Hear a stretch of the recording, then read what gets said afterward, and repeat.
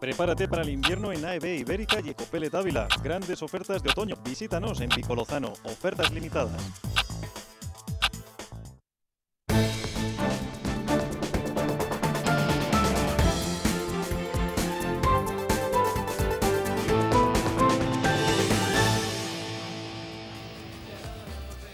De 3.000 personas abrazan la muralla para decir que se puede. En este lunes se celebra el Día Mundial contra el Cáncer de Mama, pero en Ávila, la Asociación Española contra el Cáncer aprovechaba el fin de semana para teñir de rosa la ciudad.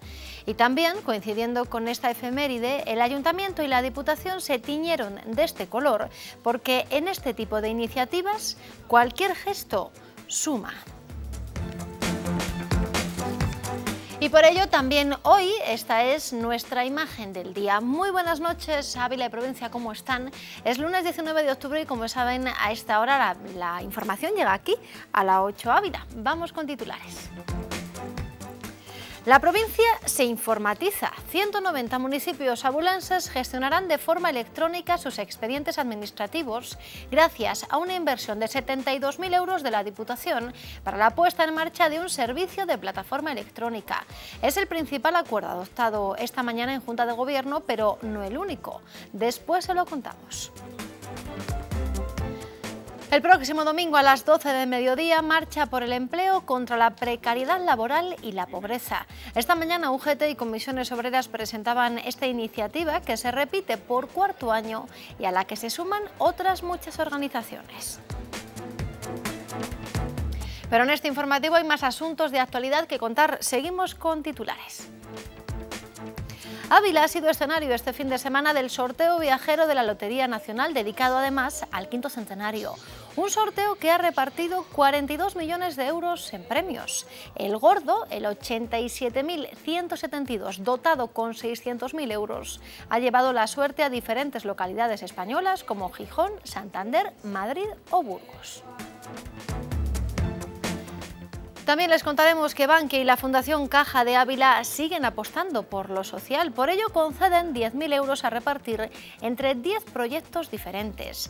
Talleres, campañas de sensibilización o la creación de aulas con diversas actividades para personas con discapacidad aglutinan esas actividades. El próximo 29 de octubre se hará entrega a las asociaciones.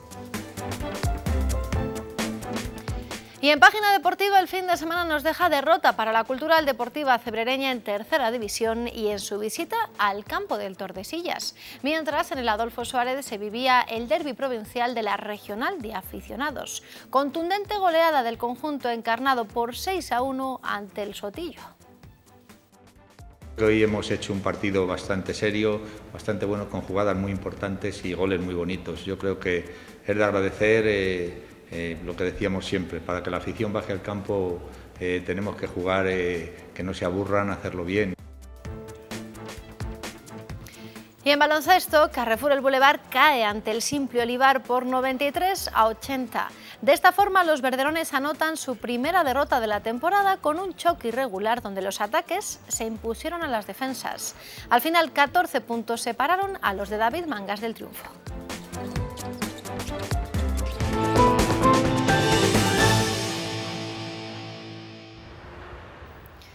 Es la imagen de esta jornada de lunes 19 de octubre en nuestra capital, un día marcado por los cielos cubiertos, especialmente a la primera hora del día, especialmente en la primera mitad de este lunes, en el que en la capital el mercurio ha oscilado entre una mínima de 11 grados y una máxima de 17. En la provincia, la mínima llegaba a Navarredonda de Gredos, 9 grados a las 8 de la mañana, y la máxima a Candeleda, 21 a las 5 de la tarde. Se lo contábamos en titulares. Ávila se une a la gestión electrónica. Lo hace a través de una plataforma a la que se han adherido 190 ayuntamientos de nuestra provincia. Todo ello gracias al contrato aprobado esta mañana en Junta de Gobierno en Diputación.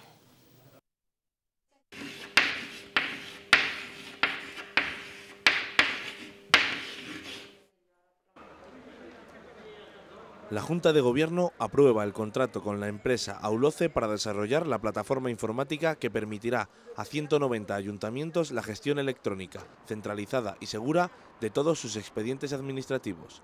La suscripción se cierra por 72.600 euros al año. Es una herramienta que les permite la gestión electrónica, la gestión centralizada y sobre todo segura de todos sus expedientes administrativos, beneficia eh, directamente a los mm, vecinos de todos esos municipios que también cuentan con una mayor seguridad jurídica y mayor agilidad administrativa.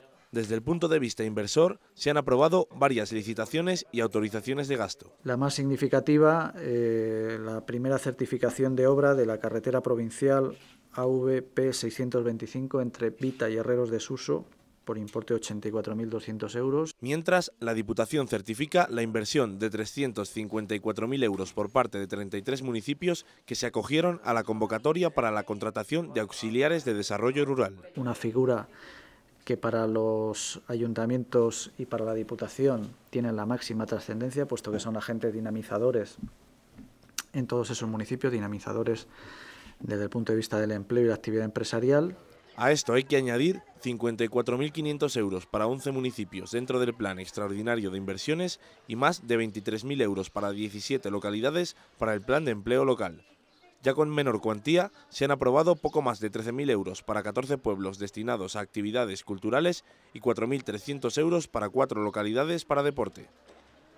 Por otra parte, se ha iniciado el trámite de licitación para la póliza de seguro de toda la flota de vehículos de la Diputación, un contrato por una cuantía de 134.000 euros con una vigencia de cuatro años. El Comité Ejecutivo de CONFAE, con su presidente Juan Saborido a la cabeza, ha sido recibido esta mañana por el consejero de Fomento y Medio Ambiente, Juan Carlos Suárez Quiñones, y por la abulense Alicia García, consejera de Familia e Igualdad de Oportunidades. El objetivo no era otro que poner sobre la mesa sus reivindicaciones en materia de infraestructuras y comunicaciones. Entre los temas que CONFAE ha planteado a Juan Carlos Suárez Quiñones y Alicia García ha sido el de las comunicaciones. La Confederación ha vuelto a reclamar la conexión con la A6 Dirección Madrid ante la necesidad, dicen, de que bajen los costes de los desplazamientos entre Ávila y la capital de España. Ante ello, el consejero de Fomento y Medio Ambiente ha asegurado que se están estudiando con el Ministerio de Fomento medidas de bonificación, principalmente para vehículos pesados, ante la inviabilidad de rescatar el peaje. Respecto a esta problemática, Suárez Quiñones ha asegurado que, vista la alternativa que propone CONFAE de mejorar la carretera AV500, la del Espinar, la Junta va a priorizar esta infraestructura con el objetivo de mejorar todo el trazado a lo largo de esta legislatura. Ante la decisión del Gobierno central de llevar definitivamente a cabo la conexión entre Ávila y la A6 vía Valladolid entre 2016 y 2019, CONFAE ha pedido a la Administración regional que sea inflexible en esta exigencia. En cuanto al ferrocarril, el consejero ha recordado que en el próximo ejercicio y por parte del Estado se van a invertir 7,7 millones de euros para seguir continuando el itinerario con Madrid, sin olvidar los servicios con Valladolid y Salamanca. Eso sí, Suárez Quiñones se ha comprometido a llevar a cabo las gestiones necesarias para aprovechar las posibilidades de vía que deje libres la apertura de la nueva línea de Medina del Campo con el fin de que aumente la frecuencia de los desplazamientos entre Ávila y Madrid y disminuya la duración. El consejero también ha hecho hincapié en el esfuerzo que se está haciendo en el mantenimiento de carreteras y del servicio de transporte a la demanda o en el abono de transporte C2 utilizado a diario por trabajadores y estudiantes que viajan a Madrid. Una reunión positiva para CONFAE en la que también está dejado claro que hay que avanzar en el desarrollo del CILOG y los que también continúan con sus reivindicaciones son los sindicatos UGT y comisiones obreras. El próximo domingo a las 12 del mediodía organizan la cuarta vuelta a la muralla por el empleo contra la precariedad y la pobreza. Acompañados de varias plataformas abulenses, estos sindicatos han recordado el carácter reivindicativo de esta marcha que parte del Parque de San Vicente. En ella continuará además la recogida de firmas para solicitar al Congreso que legisle una renta mínima de 426 euros que en Ávila beneficia beneficiaría a unas 8.000 personas que actualmente no pueden trabajar y carecen de recursos suficientes. Es un evento reivindicativo, o que nosotros queremos que sea un evento reivindicativo también de la, mayor problemática que tenemos en nuestra, en nuestra provincia, en nuestra ciudad sobre todo, y es el tema del desempleo. Se suma pues eh, diferentes colectivos con eh, diferentes espacios de trabajo, pero con una inquietud clara si no hay crecimiento económico, eh, si no hay eh, eh, crecimiento económico en nuestra ciudad y en nuestra provincia, no habrá posibilidad de progreso. Abrimos ahora la crónica política y lo hacemos de mano de la formación naranja. El próximo 1 de noviembre, Ciudadanos tiene previsto celebrar en Ávila su comisión ejecutiva. De este modo, con Albert Rivera a la cabeza, dicha formación pretende iniciar su campaña en tierras abulenses como lugar emblemático de la España democrática y donde nació el artífice de la transición, Adolfo Suárez. Y mientras continúan las reacciones a los presupuestos de la Junta de Castilla y León para el próximo año, el proyecto del Partido Popular no convence a Izquierda Unida, que critica, entre otras cosas, que no haya una partida específica para empleo, que al mismo tiempo que estas inversiones no solucionan los problemas de la provincia. Los presupuestos no resuelven nada porque son ínfimos y no asumen los problemas actuales de la provincia de Ávila. Esta es la lectura que Izquierda Unida realiza ante la propuesta de presupuestos de la Junta para la provincia bulense. Unas cifras de inversión de casi 25 millones de euros que José Alberto Novoa, coordinador provincial de la formación de izquierdas, califica de alejadas de lo que necesita esta tierra. Una propuesta dice que no hace frente a la situación de falta de trabajo, de recortes sociales y ausencia de infraestructuras. Por ello, Novoa asegura que el PP vuelve a pasar por alto la necesidad de un plan de empleo y que de nuevo hay olvidos sistemáticos de la Administración regional respecto al abono E, la conexión por autovía con la A6, la residencia juvenil Arturo Duperier, el Hospital Comarcal del Tietar o la profesionalización y creación de un cuerpo de bomberos forestales. Seguimos en Crónica Política, aunque nos vamos ahora hasta el Ayuntamiento de Ávila. El Grupo Municipal Socialista incide en la necesidad de un plan de mantenimiento de los centros escolares de Ávila. Los concejales socialistas ya han hecho esta petición en más de una ocasión. Creen que dicho plan debe establecer las medidas que deben acometerse y siempre conforme al calendario académico. Aseveran que son muchas las quejas que ponen en evidencia la falta de previsión como ejemplo, el hecho de que los alumnos del Colegio Claudio Sánchez Albornoz estén sin calefacción y tengan que estar en clase con los abrigos puestos.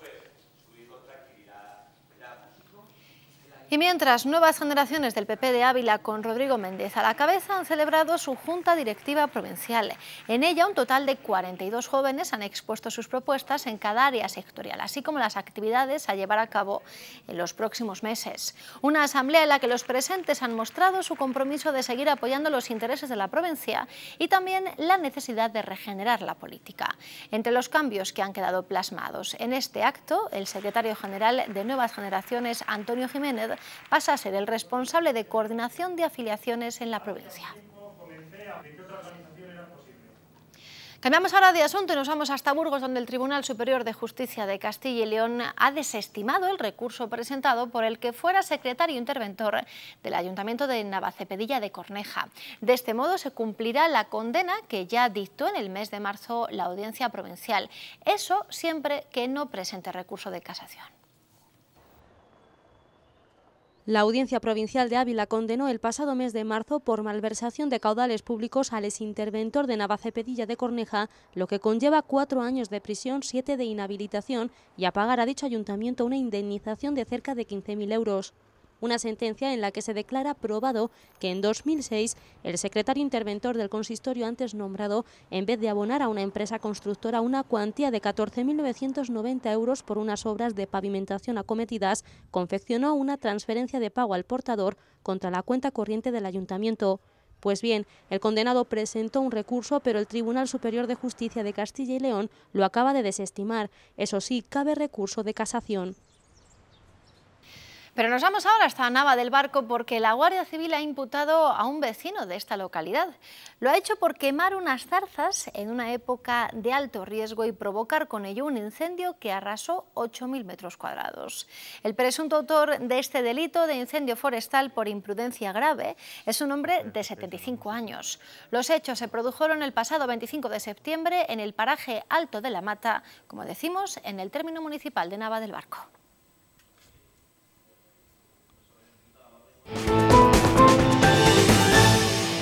Poco a poco el quinto centenario se va cerrando en todos los ámbitos. Como ejemplo, este fin de semana el sorteo de la Lotería Nacional ha llegado a Ávila, al Lienzo Norte. Ahora, pensar en tu futuro te da dinero. Consigue hasta un 3% de tu aportación a tu plan de pensiones. Infórmate en tu oficina España Duero. Algunos agraciados recordarán este quinto centenario no por el número 500, sino por este otro. 87.172. 600.000. Este era el número ganador del primer premio del sorteo nacional de la Lotería del sábado. Felicitar a todos los agraciados porque también eh, les quedará en el recuerdo que en el año del centenario pues se fueron, además ha sido muy repartido. Aunque no tocase en nuestra provincia, muchos han sido los abulenses que han querido tener su décimo de la Santa con un aumento en ventas del 40% en la provincia. En la capital, en Ávila ciudad, ha sido casi del 75%. O sea que yo creo que todos los abulenses han querido tener su décimo y su resguardo de la Santa de, la lotería. Pero también la sociedad abulense ha sido agraciada, puesto que Loterías y Apuestas del Estado ha sorteado un premio de 4.000 euros entre las asociaciones abulenses, cantidad que ha recaído en la Asociación de Terapia Asistida con Animales de Ávila, pero antes de ese sorteo en el que veíamos al alcalde de Ávila, José Luis Rivas, participaba de una recepción en el ayuntamiento. Y es que la nuestra ha sido la ciudad elegida por el alcalde de Miami, Tomás Pedro Regalado y Valdez, para terminar su gira por España. José Luis Rivas ha nombrado a Regalado como embajador de la ciudad amurallada. El regidor de Miami destacaba por su parte la importancia de tender puentes entre estas dos urbes y ha querido poner en valor la cultura hispánica, por cierto, que también se postulaba como sede de las edades del hombre. Eh, que hay voluntad eh, de parte incluso del sector privado para ser como auspiciadores eh, de cualquier este tipo. Para Ávila, y en un día como hoy, como decía al principio, que, estamos eh, terminando este centenario, pues es un placer, desde luego, recibir a una personalidad tan importante como es el alcalde. Y un apunte antes de abrir la segunda parte de este tiempo de noticias. Si ustedes han estado esta mañana por el centro de la ciudad, seguro que ya se habrán dado cuenta. La plaza Pedro Dávila se ha cortado al tráfico y estará así durante toda la semana por reparaciones en la calzada de la calle Cuchillería. A pesar de ello, se están facilitando el acceso a garajes, carga y descarga y a vehículos de personas con movilidad reducida. Enseguida hay más noticias. ¿Qué sería de las casas sin risas? Sin esa película que tanto te gusta, sin esos chefs que cocinan en equipo. ¿Qué sería de las casas sin las personas que las habitan? Si las paredes hablaran, contarían historias increíbles. Mercamueble. Lo mejor está en casa. Mercamueble en carretera Ávila Piedraita, a 15 kilómetros de Ávila. En este lunes 19 de octubre se celebra el Día Mundial contra el Cáncer de Mama, pero en nuestra capital este efeméride se ha adelantado al fin de semana. La sociedad abulense mostraba su apoyo a los afectados por esta enfermedad. En definitiva, Ávila se tiñó de rosa. Así han lucido el Ayuntamiento de la capital abulense y el Torreón de los Guzmanes, sede de la Diputación Provincial durante el fin de semana. De esta manera se mostraba el apoyo a las mujeres que padecen cáncer de mama. Es una enfermedad que no solo penaliza a la mujer, sino a todo su entorno familiar. Cada vez que hay un diagnóstico de cáncer, la verdad es que obliga a replantear todo, todo, toda la estructura familiar, todas las, todas las relaciones familiares. El domingo el Rosa también daba color a la ciudad, con el abrazo a la muralla en el que participaron más de 3.000 vecinos e incluso Santa Teresa, en una muestra del compromiso con las enfermas y sus familias. sobre todo la solidaridad de este pueblo, de esta ciudad de Ávila, con tanta gente, siempre, eh, pues en este caso, por una causa importantísima. Estamos hablando de una enfermedad que está llegando a todas las familias de una manera o de otra, a través de sus miembros, de sus amigos, sus círculos más cercanos y desde luego debemos de sensibilizar a la población y a las principales instituciones. Movimientos como este son los que han logrado que la sobrevivencia del cáncer de mama sea mucho más alta que hace 20 años. Aunque la sobrevivencia haya aumentado, una de cada ocho mujeres padecerá esta enfermedad y por eso necesitan seguir contando con el apoyo de toda la sociedad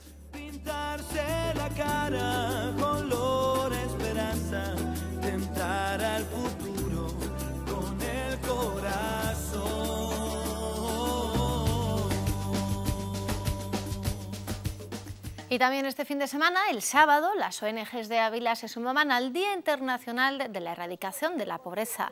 En el mundo hay mil millones de personas que viven con menos de un dólar y medio al día, especialmente en África subsahariana y en el sudeste asiático. Es el dato aportado durante la lectura de un manifiesto seguida de un minuto de silencio y animación musical e infantil que sirvieron para sensibilizar a los abulenses sobre este problema.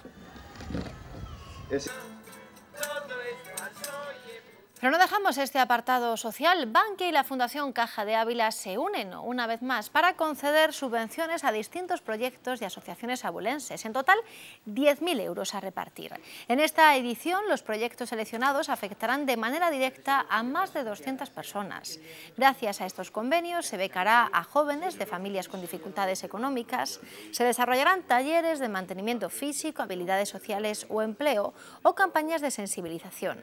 La entrega de los 1.000 euros a cada asociación será el próximo 29 de octubre.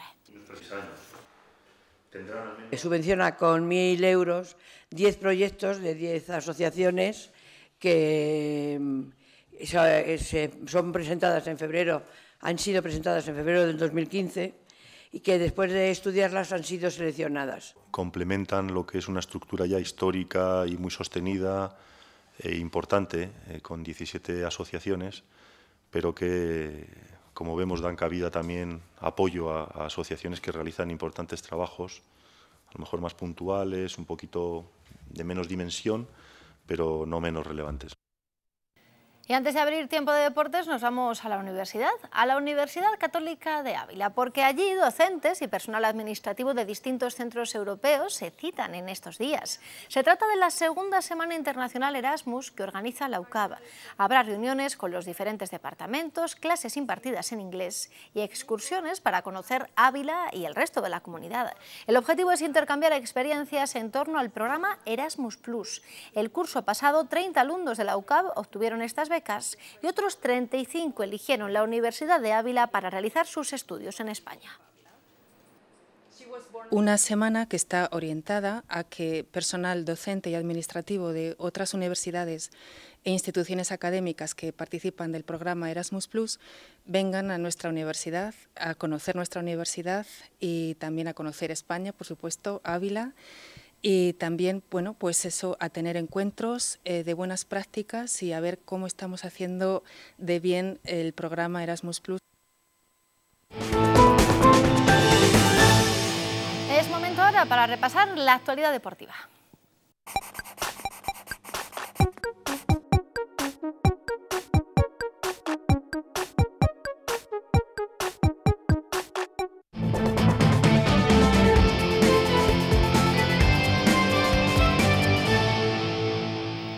Abrimos tiempo de deportes con baloncesto, con la primera derrota de Carrefour el Boulevard que caía ante el Simpli Olivar de Zaragoza por 93 a 80. Los abulenses comenzaron dominando el encuentro, pero la lesión de Sevirumbi hizo demasiado daño al cuadro dirigido por David Mangas. Pese a ello, los verderones no tiraron la toalla y se mantuvieron en el encuentro hasta mediado el tercer cuarto. A partir de ese instante, la remontada se convirtió en algo imposible ante el Simpli Olivar. Y también derrota para la Cultural Deportiva Cebrereña en tercera división y en su visita al campo del Tordesillas donde caía por 2 a 1. Mejor le fueron las cosas al Real Ávila en la regional de aficionados. Se disputaba el derby provincial en el estadio Adolfo Suárez y el conjunto encarnado vencía por goleada al Sotillo 6 a 1.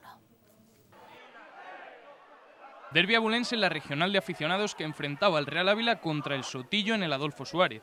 Desde el minuto uno el conjunto encarnado llevó la batuta del partido, teniendo las ocasiones más claras, aunque el Sotillo plantó cara en la primera media hora. Planteamos un partido, intentar ir arriba como visteis al principio, intentar tener alguna, intentar materializarla. No quiso entrar y Ávila tuvo más puntería. Sí que es cierto que pasado unos minutos.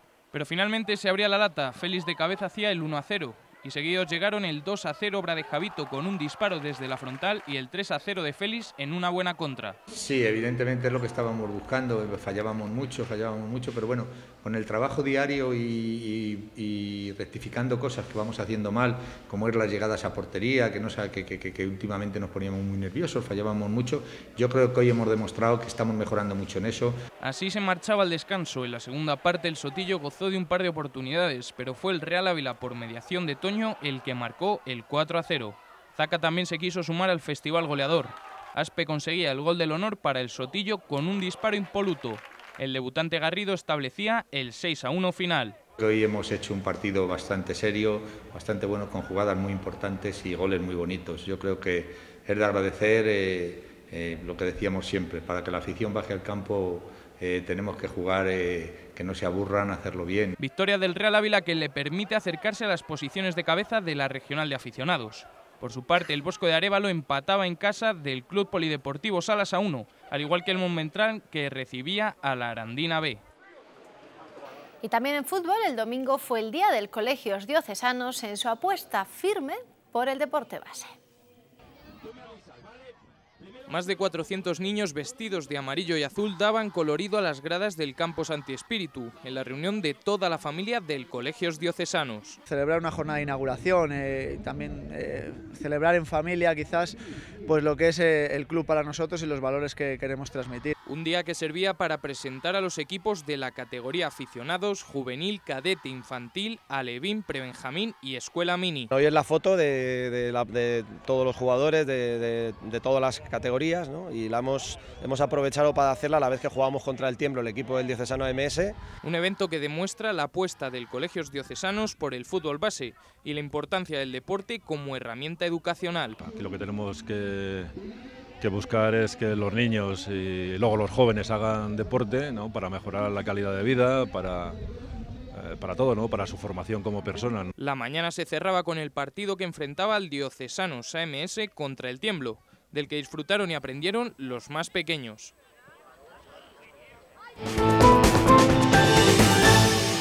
Vamos ya con las previsiones del tiempo para mañana.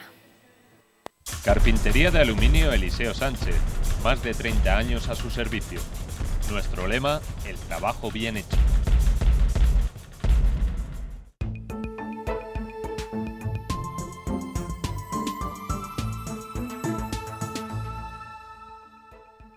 La lluvia seguirá siendo protagonista mañana en la provincia de Ávila. En el Valle del Corneja, el mercurio puede registrar una mínima de 5 grados en Piedrahita y de 3 en Hoyos del Espino. En el Valle del Tietar, mínimas de 10 y 8 grados en Candeleda y Arenas de San Pedro. También habrá que sacar el paraguas en la zona del Tiemblo, el Barraco y las Navas del Marqués, donde habrá temperaturas de entre 5 y 18 grados. En Ávila capital, misma tónica con 5 grados de mínima. Ya en la zona norte, cielo totalmente cubierto en Madrigal de las Altas Torres y algún rayo de sol en Arévalo. De cara a los próximos días, la lluvia desaparecerá a partir del miércoles. Pues en el tiempo como es habitual nos vamos, aunque ustedes quédense, porque en pocos minutos, a partir de las nueve y media de la noche, arranca la jornada. Descansen y pasen una buena noche.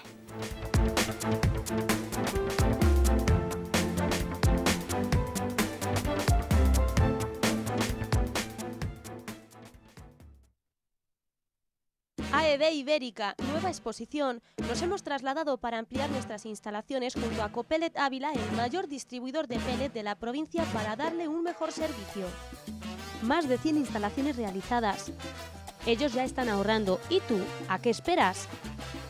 Ahorra y cuida el medio ambiente. Utiliza biomasa. Carpintería de aluminio Eliseo Sánchez, más de 30 años a su servicio. Ventanas, cerramientos de terrazas y porches, cerramientos de piscinas, cortinas de cristal, mamparas de baño. Además, cambiamos tu bañera por plato de ducha en el día. Nuestro lema, el trabajo bien hecho. Oiga, señor, que se le está quemando su casa. Voy. Mira, mira, mira, mira. Cuatro pipas son al aguasal y estoy ahí ya. ¿Que la grúa se está llevando su coche? Acabo en un momento y estoy ahí. Son al aguasal, cuatro pipas. Oiga, que le llaman de Caja Rural Castilla-La Mancha para ofrecerle sus inmejorables servicios. Entonces voy. ¿Qué mejor situación que estando en Caja Rural Castilla-La Mancha?